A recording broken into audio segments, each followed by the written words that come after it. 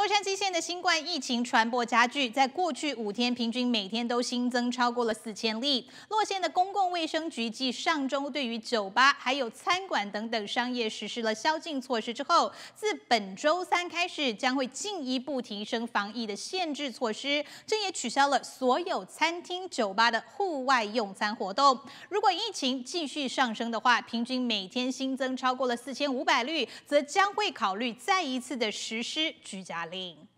刚刚过去的周六，洛杉矶县新冠确诊新增四千五百二十二例，周日则新增两千七百一十八例。洛杉矶县卫生局上周决定，如果五天平均每天新增病例超过四千例，就要停止目前尚被允许的餐厅、酒吧户外用餐。而截至周日，洛县过去五天平均新增感染为四千零九十七例，并自上周三以来新增病例高达两万零四百八十七例，同时住院人数也急剧增加。周日的新增住院人数上升至一千四百零一人，为八月以来的最高水平。在过去的七天里，住院患者的数量增加了约百分之三十五。一个月前的每日住院人数仅为七百三十人。为此，洛县决定实施更严格的防疫措施。继上周提出餐厅、酒吧及其他酒业每天不能在晚上十点至清晨六点营业之外，从本周三晚上十点开始，所有餐馆、酒吧以及酒业全部停止，包括户外在内的堂食。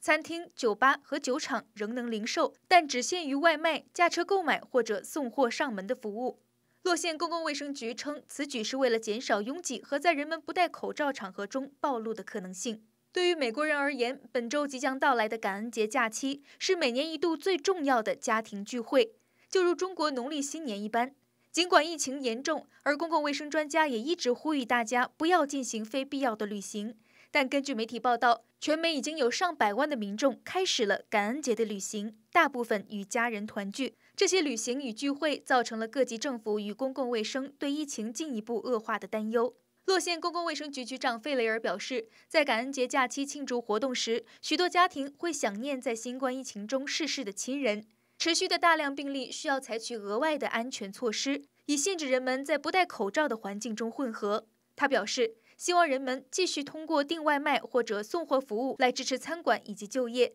但也热切希望每一个洛杉矶县的居民都遵守可以减缓传播的公共卫生指令。目前，除了洛县的疫情限制措施，加州也在上周六开始实施宵禁，要求晚上十点到清晨五点，没有必要药物在身的民众均留在家中。这一项措施将延续至十二月二十一日。洛杉矶县新的限制措施对很多希望在感恩节及圣诞节假日放手一搏的餐厅、酒吧造成了很大打击。帕沙迪纳格雷格史密斯拥有三家餐厅。包括一家百老汇烧烤餐厅，大部分业务来自假期，总有一些想在晚饭之后逛一夜的顾客。他花费了数万美元来购买暖气，为在寒冷天气的营业做好了准备。但现在这些都白费了。很多餐厅都担心疫情的如此反复，他们的生意能否生存下去？不过，疫情当头，人命关天，绝大部分业者表示会遵守限制措施。除了洛县之外，南加州各县疫情都有上升趋势。尔湾的一间大学就传出了四十九名在校学生和十六名在校员工被感染的消息。